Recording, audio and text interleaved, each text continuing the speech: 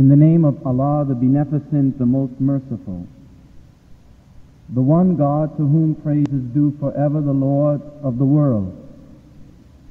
I bear witness that nothing and no one deserves to be worshipped besides Allah, who came to us in the person of Master Fard Muhammad. We thank him for raising up in our midst a divine leader, teacher, and guide in the personage of the Honorable Elijah Muhammad. And I am forever thankful to Allah and the Honorable Elijah Muhammad for extending their guidance and mercy upon us in a divine leader, teacher, and guide for us today. I speak of none other than the Honorable Louis Farrakhan. In their holy and righteous names, I greet my beloved sisters and brothers with the greeting words of peace. In the Arabic language, Assalamu alaikum. Indeed, is it always a great honor to be standing on the side of truth today and to be standing with a man of truth, the Honorable Louis Farrakhan. I'm greatly honored and privileged to be before you in shedding the teachings of the Honorable Elijah Muhammad to us, the black man and woman of America. These teachings are so powerful. They will resurrect you overnight. The guidance and the teachings of the Honorable Elijah Muhammad will gain you everything that you want in this world's life and the life to come. The condition, or rather, the success of us today is contingent upon our following of this great man in our midst. Oftentimes, we may not understand why a divine man does certain things. And the reason why we don't understand why a divine man does certain things or moves in certain directions is because we don't understand the workings of divine. We have not been taught what is divine. We don't understand God when he makes a move and when he makes a left we think that he should have made a right. And Allah is the best knower. We are very, very blessed as a people to have been given a messenger. I don't know what that means to you, but what it means to me is that I have a chance to live. I have a chance as a young man in white America to overcome the shackles of slavery. I have a chance to overcome the low self-esteem that white folks have put in us. I have a chance to benefit from working hard and gaining the success that comes with following a messenger of God. Jesus said, Come, follow me. He didn't say, Come and understand me. He said, Come, follow me, for you are not with understanding. But if you have enough intelligence to follow the leader, when you get safely to the other side, you will then have understanding.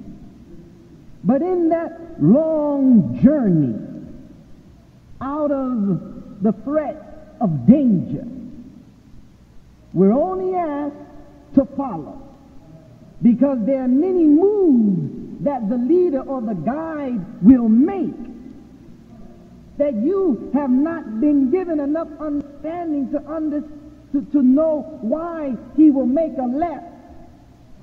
When if you look to the right, it looks like that is the better way. But had you had guided yourself and had you been able to get yourself out of the condition of hell that white folks have put you in, there would be no need for a guide. There would be no need for a messenger. But because you and I could not have guided ourselves out of the condition that white folks have put us in, then God gives you a messenger, gives us a messenger, and asks us to follow him. Where? Out of danger out of the hand of an oppressor. And don't ask too many questions. Because as you spend time casting doubt on that guide, on that leader, when you look up, the leader and the guide is so far down the path. You'll find yourself trying to catch up because you spent so much valuable time questioning the motives and the intention of that leader when you were only asked to follow him. You understand?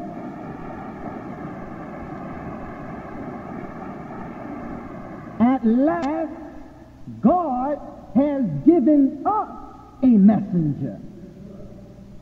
He has blessed people all around this globe to have guidance except you and I. Our guidance has come from our slave master. Our teaching, our education has come from our slave master. How do you account for the power that white folks enjoy today? Have you ever questioned how they gain power and authority over the peoples of the world? Did they make themselves and did they teach themselves or did they receive divine guidance from Allah that has given them the prominent position in the world as rulers and authority over the peoples of the world? How do you account for so much wealth that has been amassed by white folks? How do you account for the wonderful cities that they have erected here in America and in Europe? They did not teach themselves. They come from a humble beginning. They came from a savage state.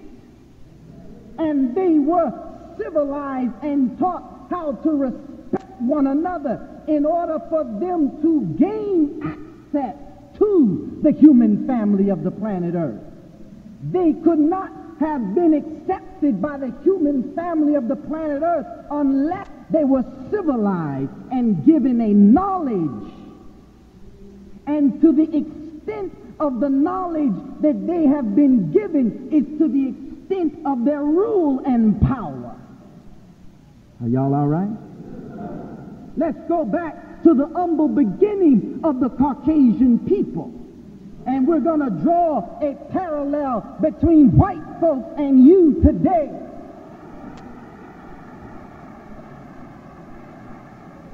God raised up Abraham. He sent Lot to Sodom and Gomorrah. He raised up David. He raised up Jesus. He raised up Muhammad. The Arab world has become powerful and wealthy because of guidance and divine guidance. The Honorable Elijah Muhammad said that our solution to our problem, yes, it's economic. Yes, it's education. But it lies at divine guidance. So the problem of the black man and woman is solved through spiritual knowledge and spiritual civilization. The world is lost today and is in darkness because they do not have divine guidance. But the Arab world became powerful because God raised up Muhammad and gave him a book and revealed the Quran through Muhammad. And in 23 years, he transformed the lives of Arab people that were divided amongst themselves into tribes. They disrespected their women and they were drunk in the sands of Arabia. But Muhammad gave them a guidance from God that made them into one nation and made them a powerful people and respected by the world over. It is only through divine guidance that we can come back to where we once were as the mothers and fathers of civilization and the rulers of the human family of the planet Earth. Moses is revered by the Caucasian people. Did you know that? The Jews reverence Moses. Of all the prophets, Moses is revered by the Western world. Why? Because Moses is the reason why they have gained prominence in the world because Moses was sent to the Caucasian people when they were in the caves and hillsides of Europe. All right, let's look at it. In the Bible, you read of Adam and Eve. And Adam and Eve were expelled from the garden because of their disobedience. Is that right? And the serpent was cast out with Adam and Eve. And in the Bible, it says that a flaming sword the cherubim were placed at the east entrance of the Garden of Eden. Is that right? What is it talking about?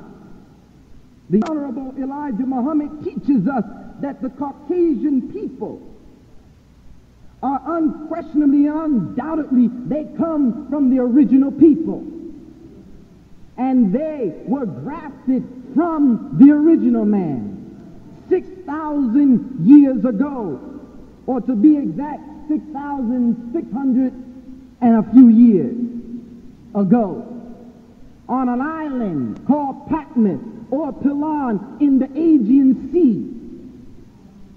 This can be placed because in the book of Revelation, you see John getting a revelation from God and John is on the island of Patmos.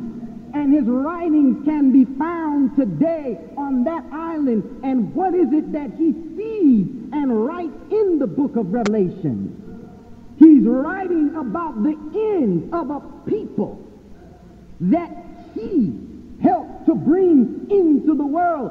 John is another name for Yakub. Y'all all right? Yaqub writes the end to his people in the book of Revelation.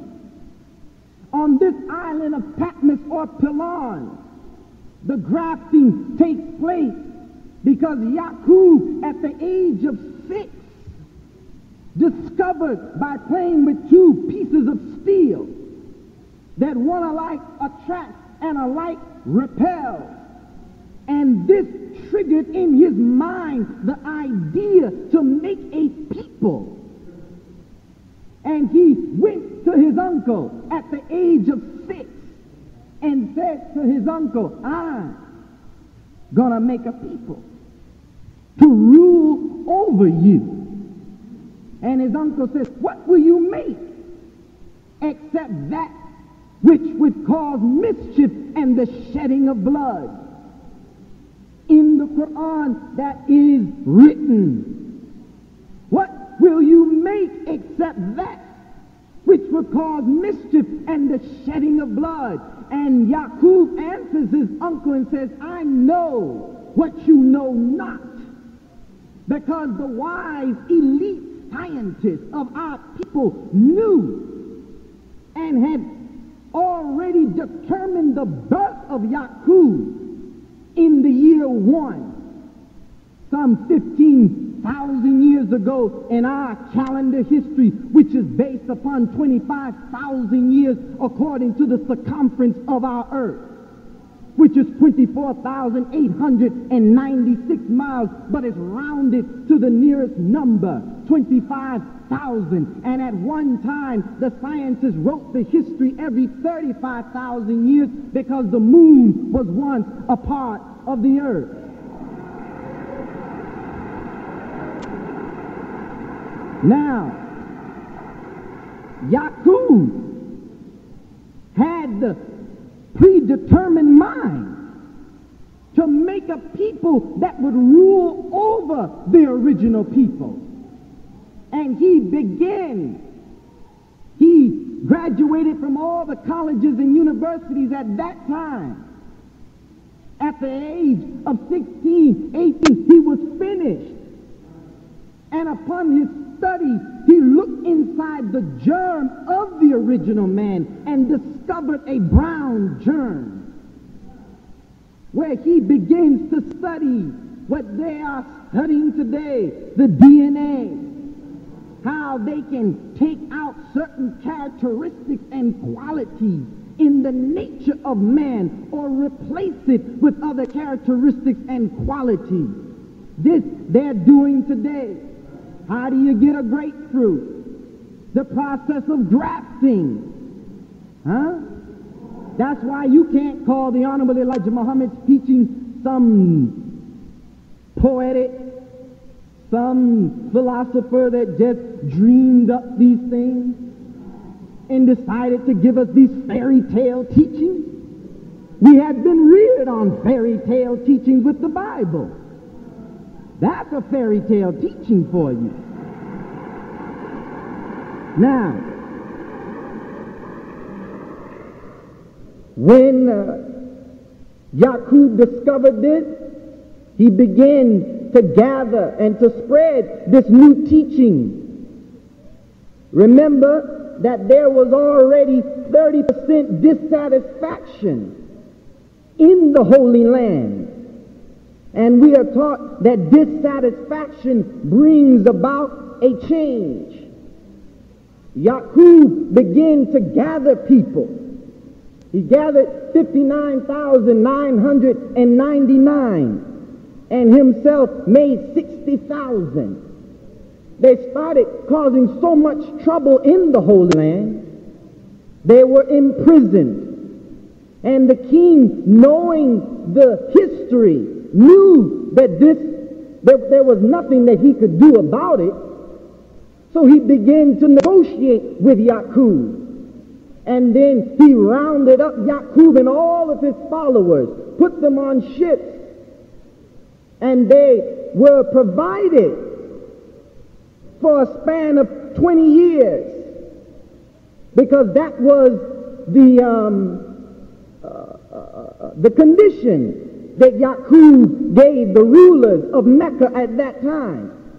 Give me the means, and I'll go from you.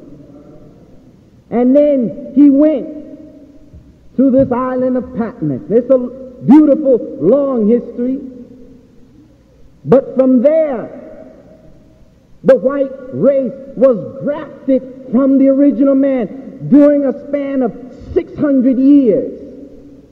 And uh, the law was very strict of Yaqub, and they only allowed after black um, would give birth to a brown, the black babies were killed by the injection of a needle in the brain of the black baby.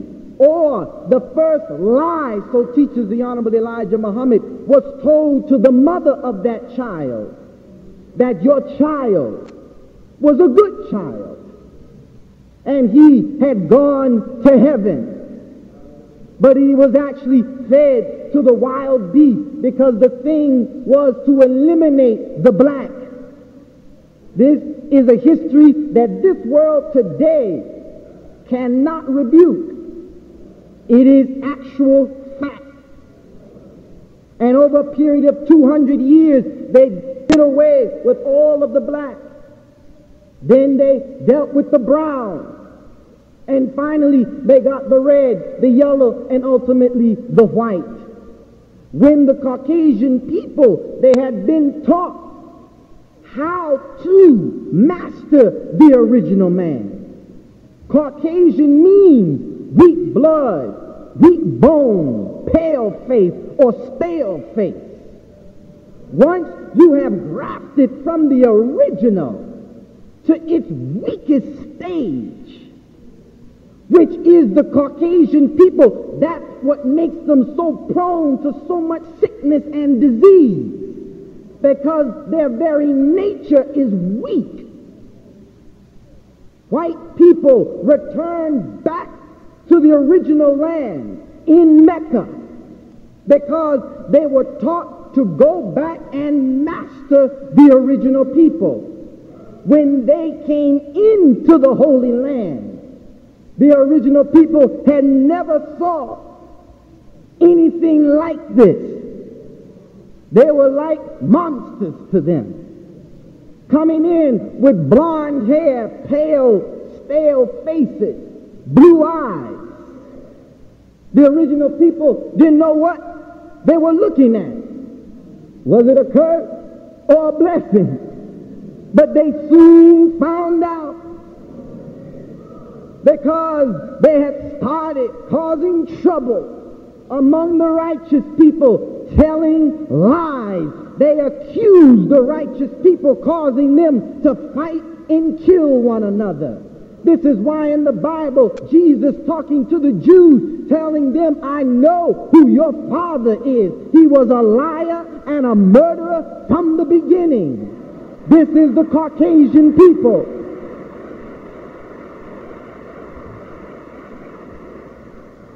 Then we have in our history and lesson that after they had caused so much trouble in the righteous land, we expelled them one more time. And we rounded them up and ran them across the hot Arabian desert. We took from them everything except the language and made him to walk every step of the way. It was 2,200 miles, and we ran them into the caves and hillsides of Europe. EU and R-O-P-E. EU standing for the hills and caves and the rope to bind them in. So the Bible bears witness to the teachings of the Honorable Elijah Muhammad that a flaming sword, the cherubims were put on the east entrance to the Garden of Eden. And the Garden of Eden at that time was the whole Persian and Afghanistan peninsula all the way into Saudi Arabia, into the Nile River. And the only way that Europe or the Caucasians that had been driven away could gain entrance into the east was through the east gate, which is Turkey, and the Caucasus Mountain, which is where they get their name, the Caucasian people. Y'all all right? Now, they went savage. They went savage. Some of them if you notice, if you look at the brothers or, or the people of Afghanistan, of Turkey, they are very light complected. That is because they are brothers. You have the original people, the black man and woman, they are also of that area of the planet. But the white people who accepted the teachings, the righteous law, they were left at the east entrance, which is the powerful Turkish people. If you look at the Ottoman Empire, And that great people of Turkey, they're warriors from the beginning because they were assigned to guard that gate and they guarded it for 1,000 years. That's why you read in the Bible again, Satan being locked up for a thousand years. Then Satan was let loose. Oh, this is beautiful. The Caucasian people, having been stripped of everything except the language, except for a little clothing to hide their shame. And they went savage and they even lost the language. They were made to suffer in the caves and hillsides of Europe, not for a hundred years, not for five hundred years, not for a thousand, but for two thousand years. They went savage. And what does savage mean? Savage means a person who has lost the knowledge of himself and is living the life of a beast.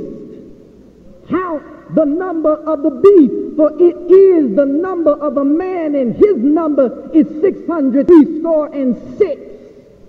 The Caucasian people are given the description in the Bible as the beast because he went on all fours eating the bark of trees, eating flesh raw. His friend was the swine, the dog, and the monkey. Huh? Those were his friends. You'll find a lot of this, bear witness again, time won't allow it, but in the 18th surah of the Holy Quran, entitled The Cave. The Cave. They have already produced many movies on their humble origins. Remember the late great planet Earth? Even 2001 Space Odyssey? uh, quest for fire, that's not you and me. I beg your pardon, that's not my humble beginning. We don't have that beginning. They lost the language and they ended up barking.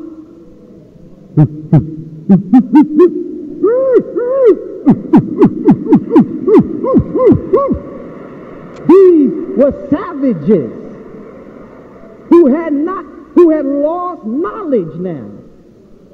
Which shows you when a people lose the knowledge of themselves, they go savage. They begin to feed off of their lower desires and they turn into an animal, which is the lowest stage of development in human development.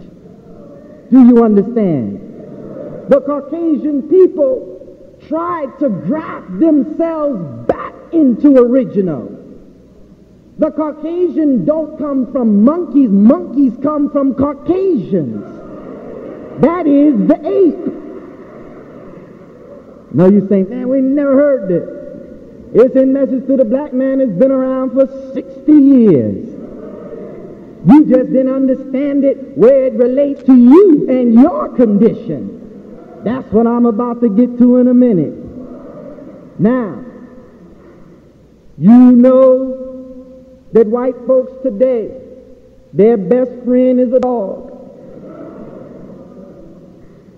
They will respect, bathe, shelter, feed a dog before they will shelter, bathe, and feed you. Am I right? If I'm lying, tell me so. Man's best friend is a dog. Man's best friend is God, not a dog. Now, when the Caucasian people began to graft themselves back, they got the monkey, the ape. And you know, white folks love monkeys.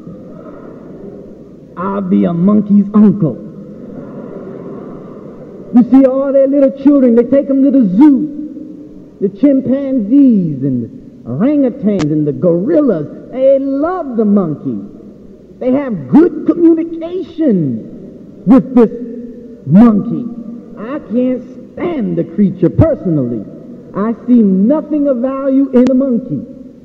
To prove to you that the monkey comes from the Caucasian people, our Savior, our deliverer, Master Fard Muhammad, when he came into this city, Chicago, many years ago, do you know? I think they still have it in the Museum of uh, Field, uh, not the Science Museum, the Natural Field Museum. I think they have a stuffed gorilla. Or is it in the zoo? But the name of this gorilla was Bushman. Remember? Big, giant gorilla. Well, Master Fard Muhammad to that monkey, that gorilla. And you know what he said? Assalamu alaikum.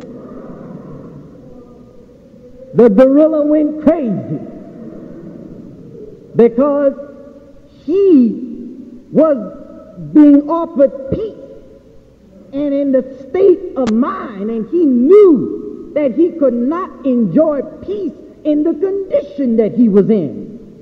And there's also been tried by other Muslims that knew of this history to see if they go to a gorilla, say Assalamu alaikum, what would be the reaction? I tried to do it once, and it looked at me kind of crazy.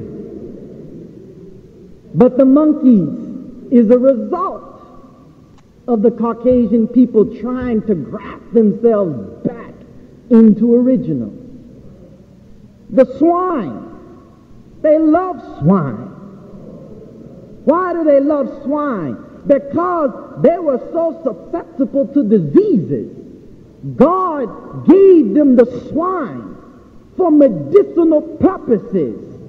And that swine is great for bacteria if your body is suffering from, from poisons and toxins, it will form a boil on your body. Is that right?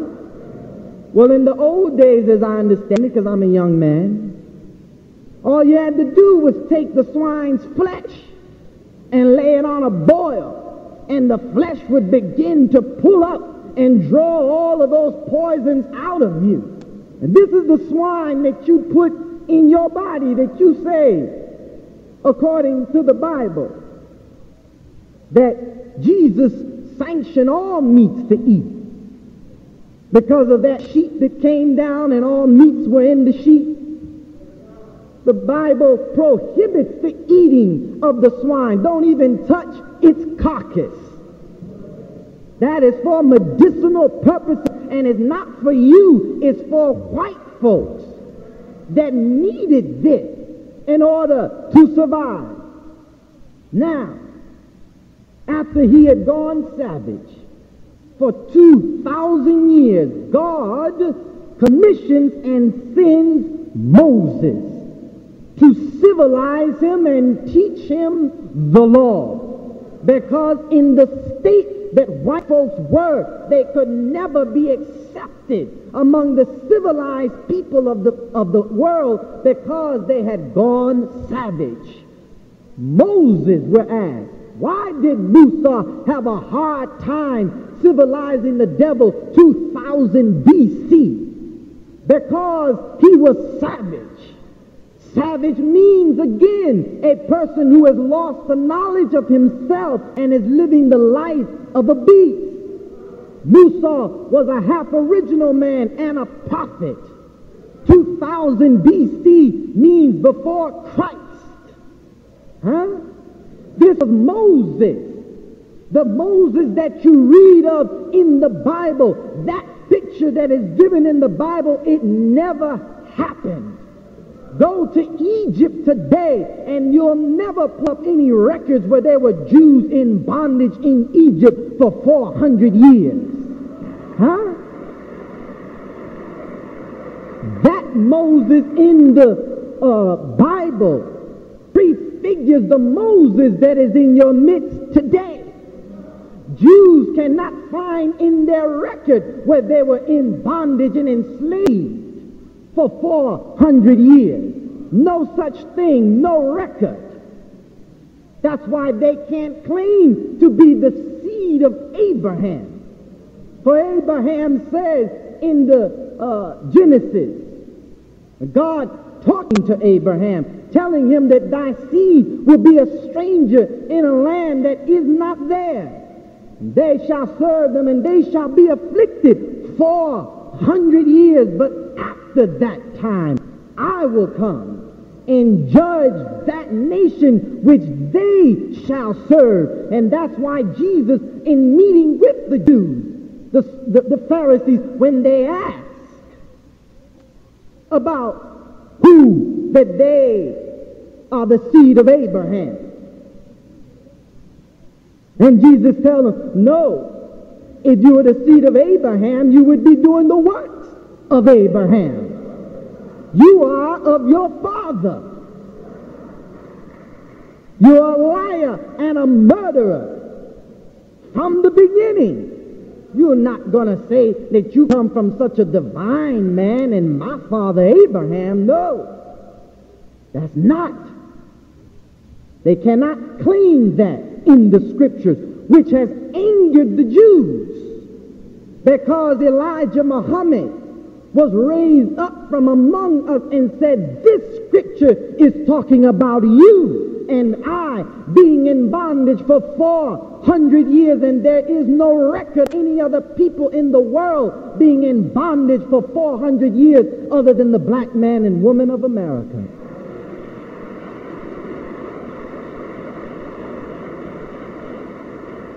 Moses was sent to civilize the savage.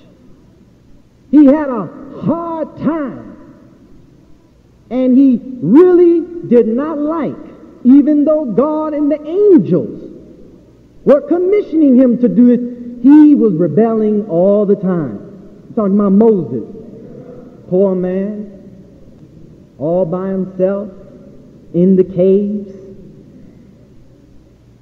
And Moses begins to teach the savage how to cook his meals properly, how to build a home for himself.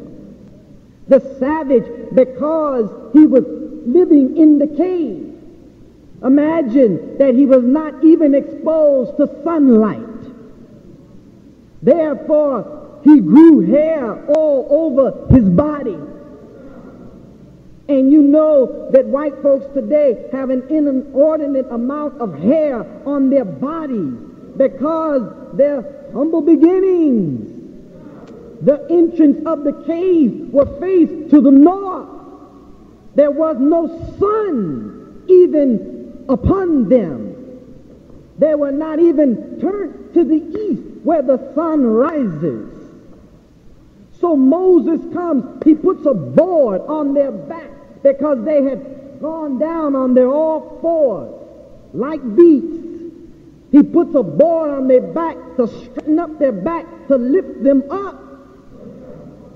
That is why Moses is revered because Moses sets them on a straight path from an uncivilized state to a civilized state, which would make them now able to take the knowledge of Moses and the civilization that Moses taught them, now they could be let loose from Europe and come back to the original people of the planet and conquer and dominate them.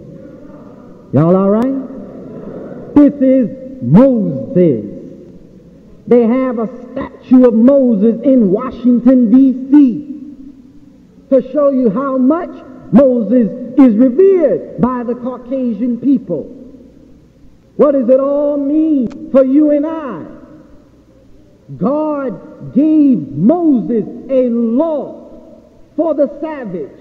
He taught him civilization. He even taught him some of the forgotten technology that Yaqub, their father, had given them. Remember, in their beginning, they are taught to master you and me.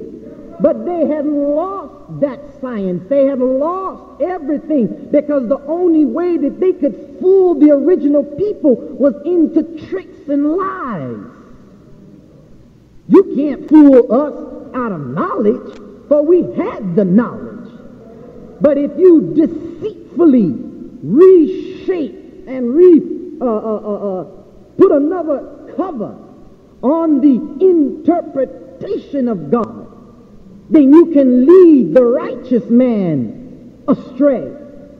And that is what Moses now gives them the teaching and the technology, some of it, not all of it, some of it. And part, a lot of that technology was how to master the original man. Now you say, why does God do this? Right? That's the logical question. Well, I mean, come on, God, why would you do this?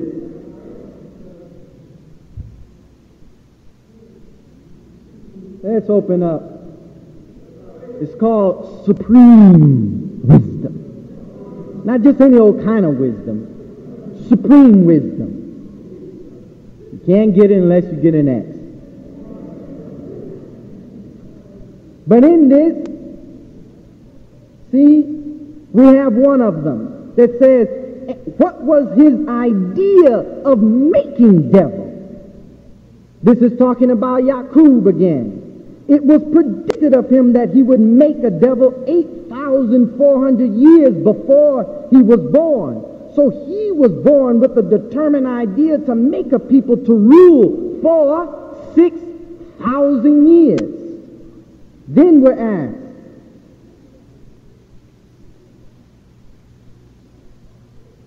then why did God make devil? To show forth his power, that he is all wise and righteous, that he could make a devil which is weak and wicked, and give the devil power to rule the earth for 6,000 years, and then destroy the devil in one day without falling victim to the devil's civilization. Otherwise, to show and prove that our Lord is God always has been, and always will be.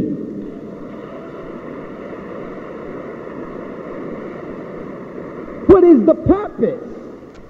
If in man and in creation it was not perfect from the beginning, then the idea of the creator of the heavens and the earth is to ultimately bring his universe into perfection. And in man, in the original man, there was imperfection. Therefore, this imperfection had to be rooted out of him.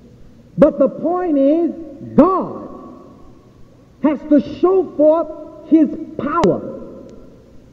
And God cannot be a God, nor can he be a champion without an opponent. What white folks have done to us. Remember, but white folks have been on the planet 6,000 years. But we had strayed from the right course and from God thousands of years before even Yaqub had the idea to bring white folks into the world. Ah, this is a lot of history.